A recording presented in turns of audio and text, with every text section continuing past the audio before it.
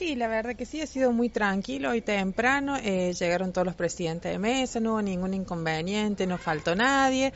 Eh, después estuvimos con los fiscales generales del otro partido y conjuntamente con la con los fiscales de mesa y nos hemos se todo desarrollado con mucha tranquilidad y por suerte en mucha armonía. Bien, aunque es muy temprano para decirlo, ¿creen que va a asistir mucha gente a, a votar, digo, teniendo en cuenta lo que ya ocurrió en las PASO?